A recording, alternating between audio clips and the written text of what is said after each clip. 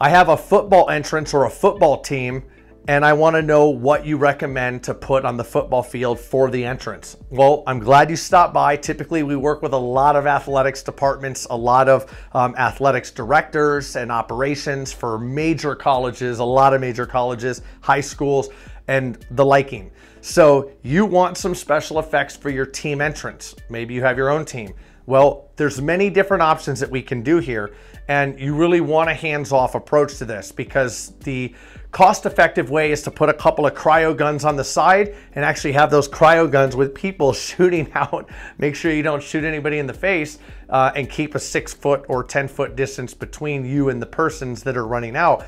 Or you can do a more sophisticated system that has CO2 jets that are already mounted. They have DMX already cooked up and the tanks are, are hooked up and off to the side and then everything's controlled with a DMX controller.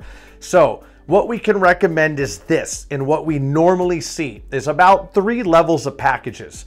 The first package is going to be the basic setup. Two cannons on the ground that are dual nozzle. The, the one nozzle shoot inward, the other nozzles kind of shoot up. That way you have only two jets. It's a dual nozzle jet and you get four streams. It looks like you have four CO2 jets, okay? The amount of CO2 tanks is really gonna determine the length of time that you're shooting those. So 50 pound tank lasts about 60 to 80 seconds. You can calculate that. If you need more than 60 to 80 seconds, you're gonna need another tank, yet another tank. So you can kind of do the calculation with that. So what we've seen about three to four tanks per jet and dual nozzle jets.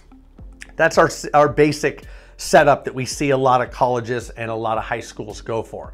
Now the next step up is of course adding some LED jets or adding more jets. Maybe they want LED jets that shoot out LEDs, but those really don't help because the bright lights in the stadium really cancels it out. So then they elect to go with maybe four jets with two nozzles or four jets just with single nozzles or valves. The valves are smaller. We have a high output valve on our homepage.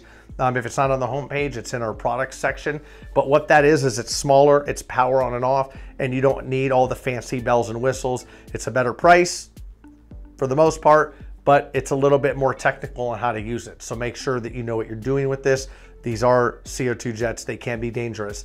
And then we have the next step up from there, which starts getting into a collection of different effects, which we can supply all of them if you need. Flames, uh, uh, DMX related CO2 jets, confetti machines, spark machines, cold spark machines. So then you start layering different effects on top of it.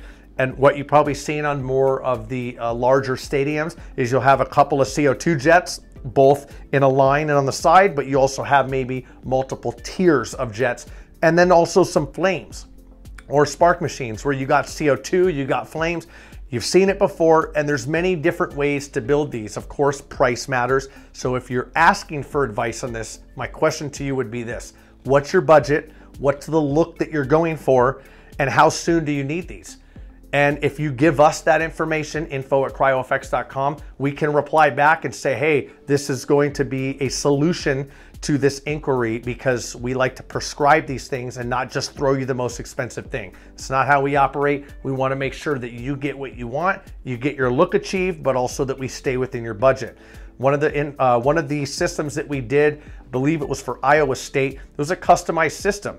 We basically had something similar to a unistrut that was mounted. They had something there where they could put this in and bolt it on, and it had four valves on each side.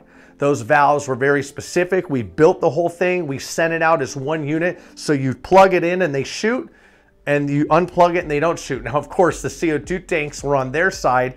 We set them up with the gas, but the hoses, all you would need to do is plug this in or have some type of DMX controller or general on and off button.